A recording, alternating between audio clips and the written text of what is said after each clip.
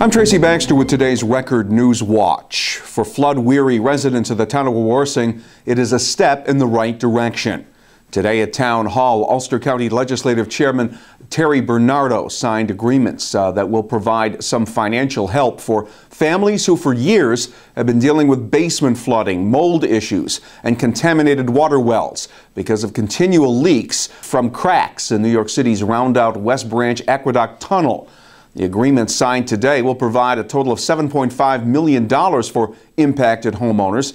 3.8 million from the state and 3.7 million from the city's Department of Environmental Protection. It's a start. It in no way uh, is going to cover all of the residents who are affected. Uh, we just secured another $1.5 million from the state, and I'm hoping that the DEP will step up and match those funds as well, and ultimately take responsibility for what they have caused in Wawarsing. It's really not justice for the people in uh, Wawarsing. The DEP should be doing much more, but anytime you sign a contract for $3.7 million, it's a significant event. Michael McHugh is one of more than 60 Wawarsing residents whose homes have been severely impacted by the underground aqueduct leaks.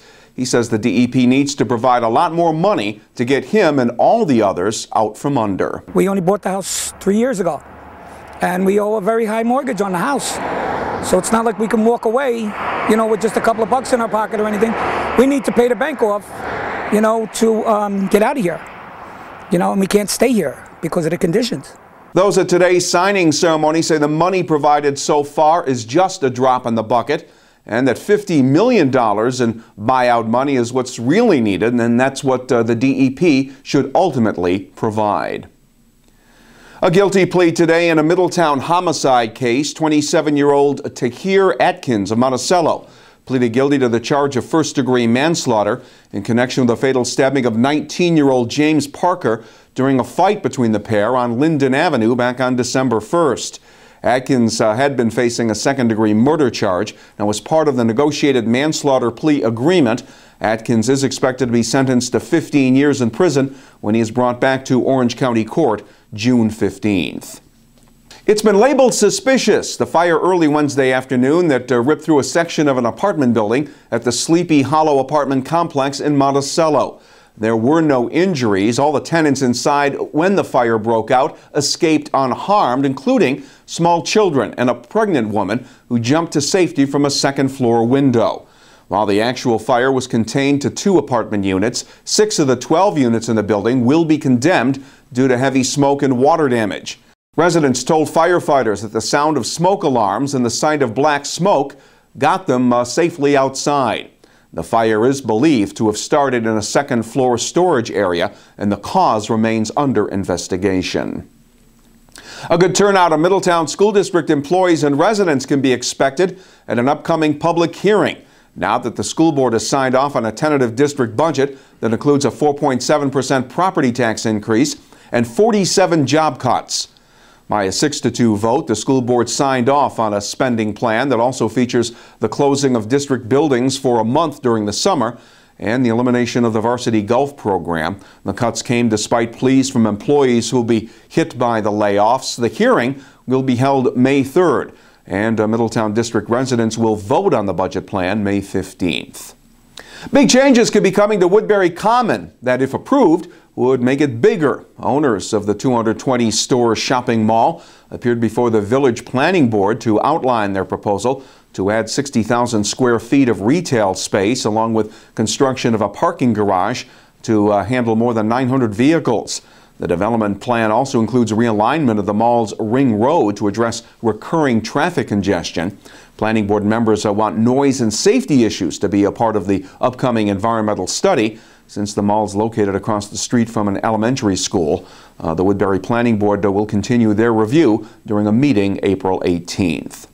A town of Gardiner woman vows to fight a court decision that has put her at odds with the Palisades Interstate Park Commission.